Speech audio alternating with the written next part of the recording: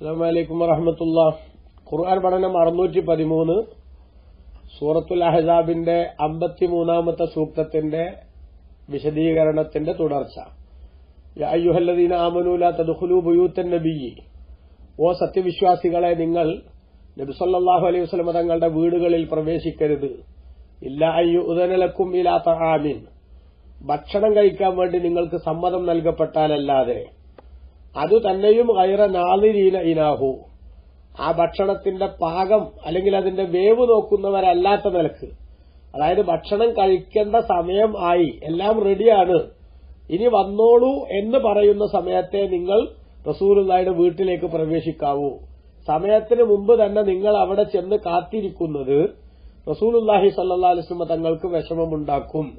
അതുകൊണ്ട് അങ്ങനെ നിങ്ങൾ ചെയ്യരുത് എന്ന് ബഹുമാനപ്പെട്ട ഖുർആാനിൽ അള്ളാഹു സുബാനുഹുവത്ത ആല സഹാബത്തിനോട് ഒരു പെരുമാറ്റച്ചട്ടം എന്ന രൂപത്തിൽ പഠിപ്പിക്കുകയാണ്. എന്നിട്ട് അള്ളാഹു താല അതിനോട് കൂടെ തന്നെ പറഞ്ഞു വലാക്കിൻ ഇതാ ദുഴയിത്തും പക്ഷെ നിങ്ങൾ ക്ഷണിക്കപ്പെട്ടാൽ ഫതുഹുലു നിങ്ങൾ പ്രവേശിക്കുക.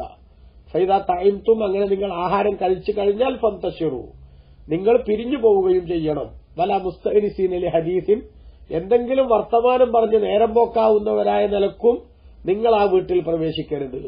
അതായത് നിങ്ങളെ ക്ഷണിക്കപ്പെട്ട വിഷയം ആഹാരം കഴിക്കലാണെങ്കിൽ ആ ആഹാരം കഴിച്ചു കഴിഞ്ഞാൽ പിന്നെ വെറുതെ കൊച്ചുവർത്തമാനം പറഞ്ഞ് നിങ്ങൾ അവിടെ ഇരിക്കുന്ന ഒരു സമീപനം ഉണ്ടാകാൻ പാടില്ല എന്ന് പറഞ്ഞു. അതിന്റെ പശ്ചാത്തലം ഞാൻ ഇന്ന് കഴിഞ്ഞ ക്ലാസ്സിൽ ചെറുതായി സൂചിപ്പിച്ചു.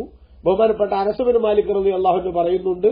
ഇവ ബുഖാരി റബി അള്ളാഹു ഉദ്ധരിച്ച ഹദീസ് ഇബിനു കസീർ തന്റെ തഫ്സീറിൽ ഉദ്ധരിക്കുന്നുണ്ട്. അനസ് റബി അള്ളാഹു പറയാണ് റസൂൽ അള്ളാഹി സല്ലാഹു അലൈഹി തങ്ങൾ ജൈനബ് ബിന്ദ് ജഷർ അലി അള്ളാഹുവിന്റെ വിവാഹം കഴിച്ചപ്പോൾ ദാൽ കൌമ ജനങ്ങളെയൊക്കെ അള്ളാഹി സ്വല്ലാ നിങ്ങളൊരു സൽക്കാരത്തിന് വേണ്ടി ക്ഷണിച്ചു. വിവാഹം കഴിഞ്ഞാൽ ഒരു സദ്യ കൊടുക്കുക എന്നത് വളരെ പ്രധാനപ്പെട്ട ഒരു സുന്നത്താണ്. ഔലിം വലോ ബിഷാത്ത് ഒരാടുകൊണ്ടെങ്കിലും നീ വലീമത്ത് നൽകണം വിവാഹ സൽക്കാരം നൽകണമെന്ന് റസൂലുല്ലാഹി പഠിപ്പിച്ചിട്ടുണ്ട്. ആ വിവാഹ സൽക്കാരത്തിന് ക്ഷണിക്കപ്പെട്ടാൽ മറ്റു മതപരമായ തടസ്സങ്ങളില്ലെങ്കിൽ ആ ക്ഷണം സ്വീകരിക്കൽ വളരെ അനിവാര്യമാണ് എന്നും ബഹുമാനപ്പെട്ട ഇസ്ലാം പഠിപ്പിച്ചിട്ടുണ്ട്. അങ്ങനെ റസൂലുല്ലാഹി അലൈഹി വസല്ലം തങ്ങൾ സഹാബത്തിനൊക്കെ സൽക്കാരത്തിന് ക്ഷണിച്ചു. അങ്ങനെ ഫത്തായിമു അവർ ആഹാരം കഴിച്ചു. സുമ്മ ജലസു എത്തഹദ്സു ഭക്ഷണം കഴിച്ചു കഴിഞ്ഞതിന് ശേഷം അവർ സംസാരിച്ചുകൊണ്ടിരുന്നു അവിടെ. അതേസമയത്ത് ഫൈദൻ ഹുവ നബിസല്ലാഹു അലൈഹി വസ്ലമ തങ്ങൾ കാന്നഹു എത്തഹയ്യുലിൽ ഖിയാമി ഫലം യക്കൂമു റസൂലുല്ലാഹി അവിടുന്ന് എഴുന്നേറ്റ് പോകാൻ തയ്യാറായി. പക്ഷേ സഹാബികളിൽ ചിലർ എഴുന്നേറ്റില്ല. അതായത് എന്നാ പിന്നെ പിരിയല്ലേ എന്ന് പറയാതെ പറഞ്ഞുകൊണ്ട് റസൂലുല്ലാഹി സല്ലാഹു അലൈഹി സ്വലമ തങ്ങൾ ഒരു സമീപനം സ്വീകരിച്ചു. പക്ഷെ അത് പലർക്കും മനസ്സിലായില്ല. അവരവിടെ തന്നെ ഇരുന്ന് സംസാരിച്ചു. അങ്ങനെ ഫലംമാർ ആ താലിക്ക കാമ. സൂചന അവർക്ക് മനസ്സിലായില്ല എന്ന് തിരിഞ്ഞപ്പോൾ റസൂലുല്ലാഹി എഴുന്നേറ്റു. അങ്ങനെ നബിതങ്ങൾ സദസ്സിൽ നിന്ന് എഴുന്നേറ്റപ്പോൾ ഫലമ്മ കാമ കാമമൻ കാമ. റസൂലുല്ലാഹി എഴുന്നേറ്റപ്പോൾ ഇത് മനസ്സിലായ പലരും സദസ്സിൽ നിന്ന് എഴുന്നേറ്റു പോയി. എന്നാൽ അപ്പോഴും വക്കാത്ത സലാസത്തു നഫരി മൂന്ന് പേർ അവിടെ ഇരുന്ന് സംസാരിച്ചു. ദോഷേകതൃക്കുകളായിട്ടുള്ള മൂന്നാൾക്കാർ അവർക്ക് ഇതൊന്നും മനസ്സിലായില്ല. എഴുന്നേറ്റ് പോകാൻ പറയാതെ പറഞ്ഞതാണ് എന്ന് അവർക്ക് തിരിഞ്ഞില്ല. അവരവിടെ തന്നെ ഇരുന്ന് സംസാരിച്ചു. അങ്ങനെ റസൂലുല്ലാഹി സല്ലി അലിസ്ലമ തങ്ങൾ മറ്റൊരു റിപ്പോർട്ടിലുള്ളത് നബി സല്ലാ അലിസ്ലമ തങ്ങൾ അങ്ങനെ തന്നെ മറ്റു ഭാര്യമാരുടെയൊക്കെ വീടുകളിലേക്ക് ചെന്നു.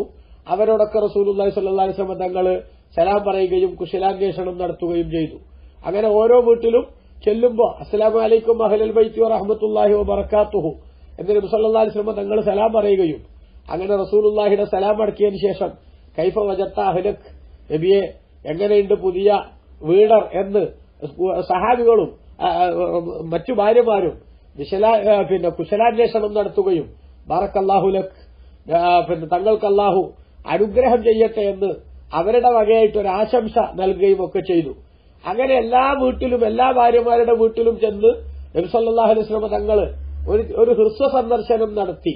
തിരിച്ചു വന്നപ്പോഴും ഈ മൂന്ന് പേർ ഫൈദാറഹത്തും സലാസ് ഫിൽബൈത്തിയ തഹദ്സൂൻ ഈ മൂന്ന് പേര് അപ്പോഴും അവിടെ തന്നെ സംസാരിച്ചുകൊണ്ടിരിക്കുന്നുണ്ട്. എന്നാൽ വക്കാൻ നബിയു സല്ലാ അലിസ്ലം ഷദീദ് അൽഹയായി നബിതങ്ങളാണെങ്കിലോ വലിയ ലജ്ജയുള്ളവരായിരുന്നു റസൂലുല്ലാഹി ഒരു മറയിലിരിക്കുന്ന കന്യകത്വം നഷ്ടപ്പെടാത്ത പെണ്ണിന്റെ ലജ്ജയേക്കാൾ ലജ്ജയുള്ളവരായിരുന്നു റസൂലുല്ലാഹി എന്ന നബിതങ്ങളുടെ വിശേഷണം പറയുന്നിടത്ത് ഹദീസ് നമുക്ക് കാണാം. അപ്പോ റസൂലുല്ലാഹി സല്ലാ അലിസ്ലമ തങ്ങൾ വീണ്ടും അവിടെ നിന്ന് ഇറങ്ങി ആയിഷ ബീബി അലി അള്ളാഹുന്നയുടെ വീട്ടിന് നേരെ പോവുകയാണ്. അതായത് ഇനിയിപ്പോ അങ്ങോട്ട് കയറി ചെല്ലുന്നില്ല. അവരെന്താ പോകാത്തത് എന്ന അർത്ഥത്തിൽ റസൂലുല്ലാഹി സ്വല്ലല്ലാഹു തങ്ങൾ വീണ്ടും തിരിച്ചു പോന്നു. ഏതായാലും ശരി അങ്ങനെ അല്പം കഴിഞ്ഞപ്പോൾ ആ, പിന്നെ അവർ പിന്നെ അവരും എഴുന്നേറ്റ് പോയി. അവർ പോയതിനു ശേഷം റസൂലുല്ലാഹി സ്വല്ലല്ലാഹു നിങ്ങൾ വീട്ടിലേക്ക് വന്നു. അനസറലി അള്ളാഹുവിന് പറയാണ് വീട്ടിന്റെ വാതിൽക്കൽ എത്തുമ്പോൾ ഞാനും സാധാരണ പോലെ അതായത് അനസറലി അള്ളാഹുവിന് ആ വീട്ടിലെ ഓളിനോളാണ് ആ പിന്നെ എല്ലാ വീട്ടിലും വേണ്ട ഹിദുമത്തുകൾക്ക് സാധനങ്ങൾ വാങ്ങിക്കൊണ്ടുവരാനും അതേപോലെ തന്നെ മെസ്സേജുകൾ കൈമാറാനും അതുപോലെ തന്നെ ഓരോരുത്തർക്കുമുള്ള പ്രശ്നങ്ങളിൽ ഇടപെടാനും ഒക്കെ. പത്ത് വയ മദീനത്ത് റസൂലുല്ലാൻ ചെന്നപ്പോൾ അവരുടെ ഉമ്മയായ ഉമ്മു സുലൈം ബീബി റലി അള്ളാഹു അൻഹ പത്ത് വയസ്സുള്ള അനസർ അലി അള്ളാഹുനുവിനെ മുത്തനബിന്റെ വീട്ടിൽ നിർത്തി നിർത്തിക്കൊടുത്തതാണ്. നബിയെ ഇത് എന്റെ മകൻ അനസാൻ ഇവനെ തങ്ങൾ ഹിദുമത്തിന് നിർത്തിക്കോളൂ. ആവശ്യമായ ഇൽമും പഠിപ്പിച്ചു കൊടുക്കുക. അപ്പൊ ഇവന് തങ്ങളുടെ അടുത്തുനിന്ന് അടവുകൾ പഠിക്കാം. അതോടൊപ്പം തന്നെ തങ്ങളുടെ വീട്ടിൽ ഒരു പിന്നെ ഹാദിമിന്റെ പോസ്റ്റ് ഇവൻ ഭംഗിയായി നിർവഹിച്ചോളും. അങ്ങനെ ആ പത്തു കൊല്ലവും ഹിദുമത്തെടുത്ത അനസർ അലി അള്ളാഹു അൻഹു എന്നത്തെയും പോലെ റസൂല വീട്ടിലേക്ക് ചെല്ലുമ്പോൾ പിന്നാലാരും പോയി ഉമർ അലി അള്ളാഹുനും ചെന്നു. അങ്ങനെ റസൂലുല്ലായി സല്ലാഹു അലൈ വസല്ലമ തങ്ങൾ വീട്ടിന്റെ ഉള്ളിലേക്ക് പ്രവേശിക്കുമ്പോൾ ആയത്തുൽ ഹിജാബ് എന്റെയും അതേപോലെ റസൂലുല്ലാന്റെയും ഇടയിൽ ഒരു വിരി തൂക്കിയിടപ്പെട്ടു. എന്ന് പറഞ്ഞാൽ ഉള്ളിലേക്ക് നോ എൻട്രിയാണ് എന്ന് തോന്നിപ്പിക്കും വിധത്തിൽ സാധാരണ ഇല്ലാത്തൊരു സംഗതി വന്നു. അപ്പോഴാണ് എന്ത്? ഹിജാബിന്റെ ആയത്ത്. അതായത് റസൂലുല്ലാഹിയുടെ ഭാര്യമാരുടെ അടുത്തേക്ക് പുറത്തുനിന്നുള്ള പുരു- അന്യപുരുഷന്മാർ അവർ എന്ത് ചെയ്യാൻ പാടില്ല ഇനി? നേരിട്ട് അവരെ കാണുന്ന സമീപനം സ്വീകരിക്കാൻ പാടില്ല. എന്തെങ്കിലും ചോദിക്കുന്നുവെങ്കിൽ മറയുടെ പിന്നിൽ നിന്നാവണം എന്ന കൽപ്പന അള്ളാഹു സുബാനുഭവത്താൽ അവതരിപ്പിക്കുകയും ചെയ്തു. അപ്പൊ ഏതായാലും ഈ സൂക്തം ഇറങ്ങിയപ്പോ സഹാബത്തിന്റെ ജീവിതത്തിൽ അള്ളാഹു സുബഹാനുഭവത്താല പഠിപ്പിച്ചൊരു വലിയ പാഠമാണ് എന്ത്? നിബിതങ്ങളുടെ വീട്ടിലേക്ക് നിങ്ങൾ സൽക്കാരത്തിന് ക്ഷണിക്കപ്പെട്ടാൽ ആ ഭക്ഷണം പാകമായി കഴിക്കേണ്ട ടൈമായി എന്ന നിലയ്ക്ക് ക്ഷണിക്കുമ്പോൾ മാത്രമേ നിങ്ങൾ അകത്തേക്ക് പ്രവേശിക്കാവൂ. അതിനു മുമ്പ് നിങ്ങൾ ഒരിക്കലും തന്നെ നേരത്തെ ചെന്ന് കാത്തിരിക്കുന്ന സമീപനം സ്വീകരിക്കരുത്. രണ്ടാമത്തെ കാര്യം ക്ഷണിച്ചാലേ പോകാൻ പാടുള്ളൂ. അപ്പൊ ക്ഷണം കിട്ടാത്ത ആളുകൾ വലിഞ്ഞു കയറി വരിക. തുഫൈലിയായിട്ട് പോകുക എന്നാണ് അതിന് പറയാ. തുഫൈലിയായിട്ട് ഒരാൾ പോയാൽ ആ പോയ ആളെ വേണമെങ്കിൽ വീട്ടുകാരൻ എന്ത് ചെയ്യാന്നാണ്? ഏ നിർദാശിന്യം ഇറക്കി വിടുന്നതിന് തെറ്റൊന്നുമില്ല. പക്ഷേ ഒരു മാന്യനായ മനുഷ്യൻ തന്റെ വീട്ടിലേക്ക് കയറി വന്ന ആളെ ഇറക്കി വിടാതെ അയാളെ കൂടി സ്വീകരിച്ചാലോ? അത് വളരെ നല്ല കാര്യവുമാണ്. പക്ഷെ പോകുന്ന ആൾ സൂക്ഷിക്കണം. പോകുന്ന ആൾ ഒരിക്കലും തന്നെ എങ്ങനെ പോയിക്കൂടാന്നാണ്. ഒരു ക്ഷണം കിട്ടാതെ ഒരു വീട്ടിലേക്കും വലിഞ്ഞു കയറി ചെല്ലരുത് എന്നാണ്. നബി സല്ലല്ലാഹു അലൈഹി സ്വലമ തങ്ങൾ തന്നെ ചില ആളുകൾ ചിലപ്പോൾ റസൂലുള്ളാഹിയുടെ കൂടെ ഉണ്ടാകും. അപ്പൊ ഒരു വീട്ടിലേക്ക് തങ്ങൾ ക്ഷണിക്കപ്പെട്ടാൽ ആ ക്ഷണിക്കപ്പെട്ട വീട്ടിലേക്ക് ഇയാളെ കൂടി കൊണ്ടുവരാൻ നിങ്ങൾക്ക് അനുവാദമുണ്ടോ എന്ന് വീട്ടുകാരോട് ചോദിച്ചിട്ട് അനുവാദമുണ്ടെന്ന് പറഞ്ഞാൽ മാത്രമേ അവരെ കൂടെ കൂട്ടാറുള്ളൂ. എന്ന് ഹദീസിൽ വന്നിട്ടുണ്ട്. അപ്പൊ വലിഞ്ഞു കയറി ചെല്ലുകയും കല്യാണമുള്ള പിന്നെ സ്ഥലങ്ങളിൽ കയറി ചെന്ന് ഒന്നായിട്ട് ആഹാരം കഴിച്ച് അതൊരു വലിയ കേമത്തമാണ് എന്ന് ധരിക്കുകയൊക്കെ ചെയ്യുന്ന ചില ആളുകളുടെ ഒരു ഒരു നിലപാടുണ്ടല്ലോ. ആ നിലപാടൊക്കെ വളരെ അമാന്യമാണ്. തീരെ മോശമായിട്ടുള്ള ഒരു നിലപാടാണ് എന്നുകൂടി നമ്മൾ ഇവിടെ മനസ്സിലാക്കേണ്ടതാണ്. ഏതായാലും അങ്ങനെ ആഹാരത്തിന് ക്ഷണിക്കപ്പെട്ടാൽ പ്രവേശിച്ചോളൂ കഴിക്കാറായി എന്ന് പറഞ്ഞാൽ മാത്രമേ ഉള്ളിക്ക് കയറാവൂ. അങ്ങനെ ഭക്ഷണം കഴിച്ചാൽ ഫൈദാ തയം തുമ്പന്തശിറു ഭക്ഷണം കഴിച്ചാൽ നിങ്ങൾ ഉടനെ പിരിഞ്ഞു പോരണം. വല മുസ്തനിസിലി ഹദീസിൻ. എന്തെങ്കിലുമൊക്കെ വർത്തമാനത്തിന് നേരം പോക്കാവുന്ന വിധത്തിലും നിങ്ങൾ ആ വീട്ടിൽ പ്രവേശിക്കരുത്. അപ്പൊ നിങ്ങൾ അവിടെ ടൈം പാസിന് വേണ്ടി സംസാരിച്ചിരിക്കുന്ന ഒരു ശൈലി. ആ ശൈലി ഉണ്ടാകാൻ പാടില്ല. കാരണം അങ്ങനെ ഉണ്ടായാൽ ഇന്നതാലിക്കും കാന യുഹദിന്റെ ബിയ്യ അത് നബിസല്ലാലിസുമ്പ തങ്ങളെ ബുദ്ധിമുട്ടിക്കും. ഫെസ്തഹീമിങ്കും നിങ്ങളോട് എഴുന്നേറ്റ് പോകാൻ റസൂ- പറയാതെ അള്ളാഹി സല്ലാസ്ലമ തങ്ങൾ എന്താവുകയും ചെയ്യും? തങ്ങൾ ലജ്ജിക്കുകയും ചെയ്യും. കാരണം അതായത് എന്നാ പിന്നെ പിരിയല്ലേ എന്ന് പറയാൻ മാന്യനായ ഏറ്റവും മാന്യനായിട്ടുള്ള റസൂലുല്ലാഹി സല്ലാസ്ലമ തങ്ങൾക്ക് സാധിക്കാതെ വരും. അങ്ങനെ സാധിക്കാതെ വരുമ്പോൾ തങ്ങൾ കഷ്ടപ്പെടുന്ന സാഹചര്യം ഉണ്ടാകും.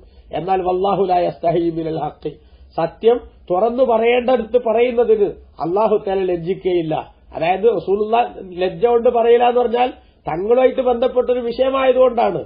അല്ലാത്ത നിലയ്ക്ക് സമൂഹത്തിന് പഠിപ്പിക്കേണ്ട നിയമങ്ങളിലൊന്നും റസൂലുള്ളാഹി പറയില്ല എന്ന അർത്ഥത്തിലല്ല. അതൊക്കെ റസൂലുള്ളാഹി കൃത്യമായിട്ട് പറഞ്ഞിട്ടുണ്ട്. അപ്പൊ നബിതങ്ങളുമായിട്ട് ബന്ധപ്പെട്ട ഒരു പേഴ്സണൽ മാറ്റർ ആയതുകൊണ്ട് ആ മാറ്ററിൽ എങ്ങനെയാ സംസാരിക്കുക എന്ന നിലയ്ക്ക് റസൂലുള്ള ലജ്ജിക്കും. പക്ഷെ നബിതങ്ങളുടെ മനസ്സ് അതൊരിക്കലും തന്നെ ഒരു ചെറിയ നിലയ്ക്ക് പോലും നോവുന്ന സാഹചര്യം വരാതിരിക്കാൻ അള്ളാഹു താല ശ്രദ്ധിക്കുകയാണ് എന്നാണ് നമ്മളിവിടെ മനസ്സിലാക്കേണ്ടത്. എന്നിട്ട് അള്ളാഹു പറഞ്ഞു വൈദാസാൽത്തു മോഹന്ന നബിതങ്ങളുടെ ഭാര്യമാരോട് നിങ്ങൾ വല്ലതും മത്താൻ റസൂല്ലാന്റെ ഭാര്യമാരോട് നിങ്ങൾ വല്ല സാധനങ്ങളും ചോദിക്കുകയാണെങ്കിൽ ഫസ്അലൂഹുന്നമിൻ വറായ ഹിജാബ് മറയുടെ പിന്നിൽ നിന്നായിരിക്കണം നിങ്ങൾ അത് ചോദിക്കേണ്ടത്. എന്താണ് അങ്ങനത്തെ ഒരു പിന്നെ നിലപാട് ഒരു കണിശമായിട്ടുള്ള നിലപാട് വെച്ചിട്ടുള്ളത്? ആ വെച്ചതിന്റെ കാരണമാണ് അള്ളാഹു പറയുന്നത് എന്ത്? ദാലിക്കും അത്തഹറുലി കുലൂബിക്കുന്ന കുലൂബിഹില്ല അങ്ങനെ ഒരു നിശ്ചിത അകലം പാലിക്കുക. ഒരാണും പെണ്ണും തമ്മിൽ സംസാരിച്ചാൽ ആകാശം വെടിഞ്ഞു വീഴോ എന്നൊക്കെ ചോദിക്കുന്ന ചില സഹോദരങ്ങളുണ്ട്. വാസ്തവത്തിൽ ആ ഇടിഞ്ഞു വീഴുമെന്ന് ചോദിക്കുന്ന ആളുകളുടെ കുടുംബങ്ങളിൽ ചിലപ്പോഴൊക്കെ അതിൻ ആ ഒരു ഒരു നിലപാട് കൃത്യമായി സ്വീകരിക്കാത്തതിന്റെ പേരിൽ ഭൂകമ്പം തന്നെ സംഭവിച്ചിട്ടും ഉണ്ടാകും. നമ്മൾ മനസ്സിലാക്കണം സമകാലിക സമൂഹം അനുഭവിച്ചുകൊണ്ടിരിക്കുന്ന മൂല്യച്യുതിയുടെ ഏറ്റവും പ്രധാനപ്പെട്ട ചില വശങ്ങൾ പരിശോധിച്ചാൽ മൈക്ക് കെട്ടിയിട്ട് എന്തും വിളിച്ചു പറയാം. എത്ര വലിയ പുരോഗമനവും പറയാം. പക്ഷേ ഗ്രൗണ്ട് റിയാലിറ്റി എന്താ? നമ്മൾ ചിന്തിക്കണം. സ്ത്രീയും പുരുഷനും എന്ന് പറയുന്നത് രണ്ടു വിഭാഗം ആളുകളാണ്. ആ ആളുകൾ തമ്മിൽ പാലിക്കേണ്ട ഒരു പെരുമാറ്റച്ചട്ടം അത് കൃത്യമായി പാലിക്കപ്പെട്ടില്ലെങ്കിൽ സൊസൈറ്റിയിൽ അതിഗുരുതരമായിട്ടുള്ള പ്രതിസന്ധികൾ അതേപോലെ തന്നെ വളരെ മോശമായിട്ടുള്ള ചില അനാരോഗ്യകരമായ പ്രവണതകൾ കടന്നുവരും എന്ന കാര്യത്തിൽ ഒരു തർക്കമല്ല. ഇന്ന് നമ്മൾ കണ്ടുകൊണ്ടിരിക്കുന്ന ഓരോ സംഭവങ്ങളും അതിലേക്ക് വിരൽ ചൂണ്ടുന്നതാണ്. അതുകൊണ്ട് പുരോഗമന പ്രസ്ഥാനങ്ങൾ എന്ന് പറഞ്ഞ് ചില ആളുകളൊക്കെ പലതും വിളിച്ചു പറയുന്നത് കേൾക്കാം. സ്ത്രീകൾ എന്ന് പറയുന്നത് പുരുഷന്റെ അതേപോലെ തന്നെയാണ്. അവർ തമ്മിൽ ആ സ്ത്രീക്ക് അങ്ങനത്തെ ഒരു ഒരു പരിമിതി വെക്കേണ്ടതില്ല എന്നൊക്കെ പറയുന്നവർ വാസ്തവത്തിൽ ചിന്തിച്ചു നോക്കൂ.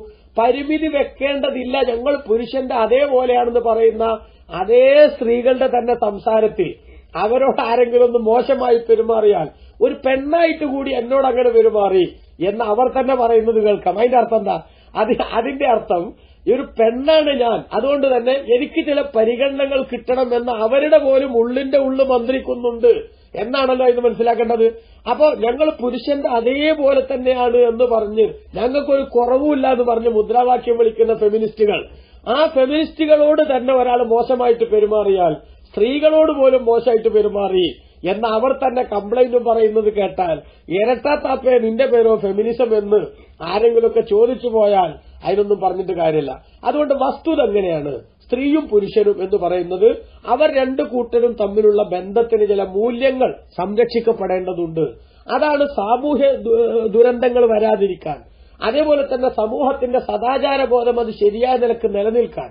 ഇത് പിന്നെ സദാചാര പോലീസ് ചമയുന്ന ഇക്കാലഘട്ടത്തിന്റെ ചില വൈകൃതങ്ങളെ കുറിച്ചല്ല ഞാൻ പറയുന്നത്. മറിച്ച് ഒരു യഥാർത്ഥ മനുഷ്യൻ അവൻ ഏതു മതക്കാരനാവട്ടെ ഏതു ജാതിക്കാരനാവട്ടെ ഏതു ഇസക്കാരനാവട്ടെ ആരായാലും ശരി സമൂഹത്തിൽ നിലനിൽക്കേണ്ട ചില മൂല്യങ്ങളുണ്ട്. ആ മൂല്യങ്ങൾ നിലനിൽക്കാൻ ആവശ്യമായിട്ടുള്ള ഒരു പെരുമാറ്റച്ചട്ടമാണ് സ്ത്രീയും പുരുഷനും തമ്മിലുള്ള ബന്ധത്തിന് ചില അതിർവരമ്പുകളുണ്ട്. ആ അതിർവരമ്പുകൾ ഭേദിക്കാനുള്ള ശ്രമം പുരുഷൻ ഇറങ്ങുന്നത് പോലെ എല്ലായിടത്തും. സർവതന്ത്ര സ്വതന്ത്രയായി വിലസേണ്ടവളല്ല സ്ത്രീ എന്നത് വസ്തുതയാണ്. ആ വസ്തുതക്ക് എപ്പോഴൊക്കെ ലംഘനം നടന്നുവോ ആ ലംഘനം നടന്നപ്പോഴൊക്കെയും ഇവിടെ മോശമായിട്ടുള്ള പല സംഭവങ്ങളും നടന്നിട്ടുണ്ട്. ഇപ്പോഴും നടന്നുകൊണ്ടിരിക്കുന്നുണ്ട്. ഇനിയും നടക്കാനിരിക്കുന്നുമുണ്ട്. അതുകൊണ്ട് നമ്മൾ വസ്തുതയെ വസ്തുതയായി കാണാൻ തയ്യാറാവണം. ഖുർആൻ പറയുന്ന ഈ പ്രയോഗം മാത്രം നോക്കൂ നിങ്ങൾ. എന്താണ് അതിന്റെ റീസൺ? മറയുടെ പിന്നിൽ നിന്നായിരിക്കണം അവരോട് ചോദിക്കേണ്ടത്. ഒരു പെണ്ണിനെ കണ്ടുപോയാൽ ആകാശം ഇടിഞ്ഞു വീഴോ എന്ന് ചോദിക്കുന്നവർ ചിന്തിക്കണം. ദാലിക്കും അത്തഹറുലി കുലൂബിക്കും വ കുലൂബിഹിന്ന അവരുടെയും നിങ്ങളുടെയും ഹൃദയങ്ങൾക്ക് ഏറ്റവും ശുദ്ധി നൽകുന്നതും പവിത്രത നൽകുന്നതുമാണ് ആ സമീപനം. കാരണം എന്താ ഒരു സ്ത്രീയെ ഒരു അന്യപുരുഷൻ കാണുന്നതോടുകൂടെയാണ് പലപ്പോഴും പലപ്പോഴും ദുശ്ചിന്തകളുടെ തുടക്കം കുറിക്കുന്നത്. എന്നാണ് ബഹുമാനപ്പെട്ട ഇസ്ലാം നമ്മുടെ ശ്രദ്ധയിൽപ്പെടുത്തുന്നത്. നബ്സല്ലാ അലിസ്ലമ തങ്ങൾ തന്നെ പറഞ്ഞിട്ടുണ്ടല്ലോ അന്നമുറു സഹമുൻ മസ്മൂമുൻ മിൻ സിഹാമി ഇബിലീസ്. ഇബിലീസിന്റെ വിഷത്തിലൂട്ടപ്പെട്ട അമ്പാണ് നോട്ടം എന്ന് പറയുന്നത്. അതുകൊണ്ട് ആ നോട്ടം കൃത്യമായി നമ്മൾ നിയന്ത്രിച്ചു നിർത്തണം. കാരണം ഈ സ്പർശനമാണ് പിന്നീട് അനാവശ്യമായ ദർശനങ്ങളിലേക്ക് ഡെവലപ്പ് ചെയ്തു പോകുന്നതെന്നും അതുകൊണ്ട് ആ ഒരു ദുരന്തം ഇല്ലാതാക്കാൻ ശ്രമിക്കുമ്പോൾ അതിന് വലിയ ആരോഗ്യകരമായിട്ടുള്ള സദാചാര ബോധം പരിരക്ഷിക്കാനുള്ള ഫലപ്രദമായിട്ടുള്ള ഒരു ശ്രമമാണ് സമൂഹത്തിൽ ഉണ്ടാക്കുന്നതെന്നും നമ്മൾ മനസ്സിലാക്കേണ്ടതുണ്ട്. ഇത് പറയുമ്പോൾ ആരെങ്കിലുമൊക്കെ ഈ മാറിയ കാലത്തും ഇത്തരത്തിലൊക്കെയുള്ള കർശനം വേണോ എന്ന് ചോദിക്കോ എന്നൊക്കെ ചിന്തിച്ചാൽ സദാചാരം സംരക്ഷിക്കപ്പെടണമെന്നും കുടുംബത്തിന്റെ മര്യാദ നിലനിൽക്കണമെന്നും ആഗ്രഹിക്കുന്ന ഒരാൾക്ക് ഇങ്ങനെ തന്നെയേ പറയാൻ സാധിക്കൂ എന്നാണ് എനിക്ക് സൂചിപ്പിക്കാനുള്ളത്. ഏതായാലും അള്ളാഹു സുബാനഹുവ ആല തുടർന്നു പറയുകയാണ്. അവരോട് അവരുടെയും നിങ്ങളുടെയും ഹൃദയത്തിന്റെ വിശുദ്ധിക്ക് നല്ലതാണ് അഥവാ ഈ കാഴ്ചയിൽ നിന്നായിരിക്കാം മറ്റു പല ദുരന്തങ്ങളുടെയും തുടക്കം. മോശ ചിന്തക്കാരായിട്ടുള്ള ആളുകളുണ്ടെങ്കിൽ ഇത് അവരൊരു വഴിയാക്കി മാറ്റും. ചിലപ്പോൾ നല്ല ചിന്തയും നല്ല സദാചാര ബോധമൊക്കെ ഉള്ള ആളുകൾ തന്നെ സാഹചര്യങ്ങളുടെ സമ്മർദ്ദം കൊണ്ട് പലപ്പോഴും അത്തരത്തിലുള്ള അരുതായ്മകളിൽ ചെന്നുപെടുന്ന സാഹചര്യങ്ങൾ ഉണ്ടാകും. പലപ്പോഴും നമ്മൾ പറയാറില്ലേ ഈ ഒരു ഒരു ചില കുടുംബങ്ങളിലൊക്കെ ഉണ്ടാവുന്ന ചില ദുരന്തങ്ങൾ ആ ദുരന്തങ്ങളുടെ തുടക്കം ഒരു മിസ് കോളിൽ നിന്നാണ് എന്ന് പറയാറുണ്ട്. എന്റെ ഇപ്പോൾ മിസ് കോൾ അടിച്ചാൽ ആകാശം ഇടിഞ്ഞു വീഴോ അല്ലെങ്കിൽ ഫോണിലൊന്ന് സംസാരിച്ചാൽ ആകാശം ഇടിഞ്ഞു വീഴോ എന്ന് ചോദിക്കുന്ന ആളുകൾ സ്വന്തം കുടുംബത്തിൽ അത്തരത്തിലുള്ള ദുരന്തങ്ങളുടെ വേലിയേറ്റം ഉണ്ടാകുമ്പോൾ തലയിൽ മുണ്ടിട്ട് നടക്കാനല്ലാതെ അവർക്കൊന്നിനും സാധിക്കില്ല. എന്നത് വസ്തുതയാണ് നമ്മൾ തിരിച്ചറിയണം. അതാണ് അള്ളാഹു സുബാനുഭവത്തെ ആല നമ്മുടെ ശ്രദ്ധയിൽപ്പെടുത്തുന്നത്. സദാചാര ബോധം ഓരോരുത്തരും സംരക്ഷിക്കണം. അതിനാവശ്യമായിട്ടുള്ള ശ്രമങ്ങൾ അതിനാവശ്യമായിട്ടുള്ള മുൻകരുതൽ അതുണ്ടാകണം. നിർസല്ലാസ്ലമ തങ്ങളുടെ വിശാലമായ ഒരു ഹദീസിൽ വ്യഭിചാരത്തിന്റെ വിവിധ വശങ്ങളെ സൂചിപ്പിക്കുന്നുണ്ട്. അതിൽ കണ്ണിന്റെ വ്യഭിചാരമായിട്ടാണ് നോട്ടത്തെ റസൂലുല്ലാഹി സ്വലല്ലാ തങ്ങൾ പരിചയപ്പെടുത്തുന്നത്. അതുകൊണ്ട് തന്നെ നോട്ടം എന്ന് പറയുന്ന ആ സംഗതി മനുഷ്യന്റെ മനസ്സിൽ പതിയുകയാണ് അതിന്റെ പ്രതിഫലനം. അങ്ങനെയാണ് മനസ്സ് ബാക്കിയുള്ള സംഗതികളിലേക്കൊക്കെ ചിറകടിച്ച് പറക്കുന്ന ഒരവസ്ഥയിലേക്ക് എത്തുന്നതും പിന്നീട് മറ്റവയവങ്ങൾ കൂടി ഈ തെറ്റിന്റേതായിട്ടുള്ള പദ്ധതികൾ പ്ലാൻ ചെയ്യാനും നടപ്പാക്കാനും അതൊരു വലിയ ദുരന്തത്തിന്റെ സമാപനത്തിലേക്ക് എത്താനുമൊക്കെ സാധ്യതയാകുന്നത്. അതുകൊണ്ട് ശ്രദ്ധിക്കണം സൂക്ഷിക്കണം നോട്ടത്തെ നിയന്ത്രിക്കണം. ബഹുമാനപ്പെട്ട റസൂലുള്ളയുടെ ഉപദേശമാണ് പാലിക്കാൻ. അള്ളാഹു നമ്മെ എല്ലാം അനുഗ്രഹിക്കട്ടെ ആമീൻ. വസല്ലാഹു തആല വസല്ലം. على خير خلقه سيدنا محمد وعلى آله وصحبه ومن تبعهم بإحسان إلى يوم الدين والحمد لله رب العالمين والسلام عليكم ورحمة الله.